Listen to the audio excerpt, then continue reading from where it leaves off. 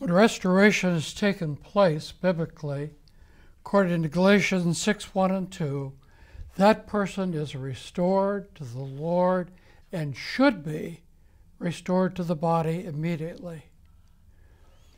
But also, that person needs to rebuild their life. They need to rebuild trust with the church, with their friends, with their family. So, what I advocate is a rebuilding team, not a restoration team. Let's assume that's already taken place because of Galatians 6 1. The person has been broken, they've repented, they've been restored to the Lord, and they've been restored now to the body. But let's help them rebuild. Let's help them get on with their lives. So I look for a group of spiritual men again that can help this individual rebuild his life. There will be some questions running through the mind of that person that wants to rebuild because he's been hurt, he's been damaged, he is really suspicious of people, whether they really want to help him or not. Some of the questions he may, he may have in his mind are these can I really trust these people, this group that wants to help me rebuild? Will they maintain confidentiality? Have they already lost respect for me, or do they still see me as a valuable person? Uh, do they genuinely care about me? Are they just fulfilling an assignment, or they, are they really committed to helping me rebuild my life? Can they actually help me? Are they mature, godly individuals? Will they speak the truth in love? Do they genuinely care about me? Those are the kind of things will go in go through the mind of the person that wants to rebuild his life. But once he's confident of that, he becomes teachable, he's humble, and that gathering with those people can be a warm, gracious, loving fellowship. And I, I've seen that happen with my friend Jeff. But how should the church respond now to a repentant, restored person? We have taught, taught and shared in these lectures how you should respond to an unrepentant person, the biblical guidelines, but the Bible also gives us guidelines of how to respond to a repentant person. Keep those things clear in mind. How we respond to an unrepentant, all the scriptures we gave. Now, how to respond to repentant. The best passage of scripture on this is in 2 Corinthians chapter 2 verses 6 through 11. The background on that is in 1 Corinthians 5, the apostle Paul was really upset with the church, even more so than the sinning man, because they didn't deal with it. But after he counseled the church of how to deal with it, and they must have dealt with it, because Paul says, now that worked. You finally followed the instructions I gave you. That man has been repentant, broken and repentant. Now, this is what you need to do. Let me read the verses and then comment on them. Paul says, If anyone has caused grief, that man certainly did. He has not so much grieved me as he grieved all of you, to some extent, not to put it too severely. Now, listen the punishment inflicted on him by the majority is sufficient for him. They finally exercised church discipline. Now, instead, you ought to forgive and comfort him. Why? So that he will not be overwhelmed by excessive sorrow. I urge you, therefore, to reaffirm your love for him. The reason I wrote you was to see if you would stand the test and be obedient in everything, if you would follow biblical principles of church discipline. If you forgive anyone, I also forgive him. And what I have forgiven, if there was anything to forgive, I have forgiven in the sight of Christ for your sake. Now do this in order that Satan might not outwit you, for you're not unaware of his schemes. What a incredible wonderful, beautiful, powerful passage of Scripture. Again, it needs to be followed to the letter, just like the passage needs to be followed to the letter for an unrepentant person. Now remember, we're talking about a man who was deeply in sin. 1 Corinthians 5. Uh, a terrible situation. He was involved in sexual immorality with his stepmother. The church knew about it, did nothing about it. Paul was upset. He comes to them. He gives them clear guidance. He said, What you need to do is exercise church discipline. Expel that man from you. Turn him over to Satan so that his flesh would be destroyed. Very strong language. Three times in that one chapter, he says, Put that man out, put him out, put him out. Finally, the church says, We better obey and they exercised church discipline.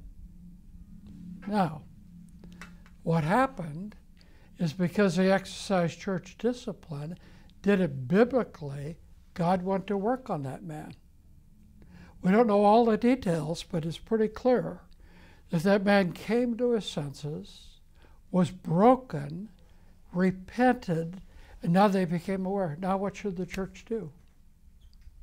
What is their responsibility? he, he has been restored to the Lord. Now, quickly, the church needs to welcome him back. And here's what he says we're to do. He said, Be sensitive to that man, because he uses the word sufficient. Enough. Don't proclaim it. Don't keep him out. It's, it's done. It's over. Sufficient has been the discipline. It's been effective. It's done what it was intended to do. Now welcome him back. Second thing he says, be forgiving. Forgive him. Verbalize it. Tell him, as far as we're concerned, you are completely forgiven. You are completely restored to the body. Everything is good. You are welcome back. We're not going to bring this up before you again. It's under the blood of Christ. Sufficient, forgiving. Be forgiving. I like this next word. He says, comfort him. Be comfort him. Don't stand aloof from him. Don't keep holding him at arm's length. They've been deeply wounded. They need emotional healing now. They need comfort. They need to be surrounded by love and caring people and needs to know he's very fragile. People are very fragile after they've gone through experience like this because they have been hobbled, they've been broken, they've been devastated by, by their sin, they are filled with regrets. They need somebody to put their arm around them and comfort them. They need to feel they're in a very safe environment now. Second thing says, be loving. Reaffirm. Paul says, reaffirm your love for them. Tell them, we love you. Uh, they need to not only hear love, they need to feel it, they need to sense it. And that is so powerful because they have felt so unloving. How can anybody love me after what I did? And there are people that treat them in an unloving way. And he says, you as a church, the body of Christ, you have a responsibility to show love, shower them with love. People sometimes are afraid to do that, but that's what they need. Then the last thing he says is be alert. Be alert that Satan doesn't take advantage of you. He said, We know his schemes. When does Satan take advantage of a church? Well, many, many ways, obviously, but especially in church discipline. And that's our topic in these lectures. Satan has taken advantage of church after church after church because they haven't exercised church discipline, if they've tried to do it, they've done it in the wrong way. If they've done church discipline in the right way and they've not restored in the right way, Satan has taken advantage. Church that I know of, one that I mentioned earlier in the lectures, this large, thriving church. The man was a great Bible teacher. He sinned, he fell. The church didn't exercise discipline All they did is just excommunicate him, get him out of the way. They didn't follow the first three steps. And, and the man went off, and they told him not to come back, not to be around. He certainly repented, was broken. I've spent hours talking with him. I know, I know his heart, I believe, very clearly. That church had over a million dollars in a building fund, over a thousand people in attendance. Today, that church doesn't exist. Nobody even knows what happened to the money. Another church was going to start out of that church. It went for a little while, it folded. That church is gone off the map. And that individual is still in limbo out here. Sad beyond words. I thought often what would happen if that church had followed biblical principles, followed Matthew 18. They would have only gotten to maybe the second step of Matthew 18, and that person would have been restored. They would have won their brother back. And that would have been a glorious day for that church. Not to put him back in the pulpit immediately. That wasn't the point. He wasn't asking for that, for his job back, anything else. All he was asking for is forgiveness. He had gotten it from God, now he wanted it from the body. Now, if that church body had said, All right, God has done his work in the life of that man, he has responded right, we don't need to treat him harshly. What we need to do is we need to forgive him, comfort him, reaffirm our love for him, and not let Satan use this in the life of that man or in the life of our church. Who knows what would have happened to that church today? We strive to serve the contemporary Christian community with a variety of Christian educational and evangelistic resources. To see TVS Seminary's database, please visit tvsseminary.com. So there's one other thing I, I encourage the church to do.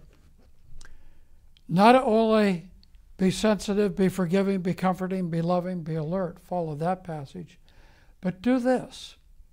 Once that prodigal has come back, we've gone through this, celebrate restoration.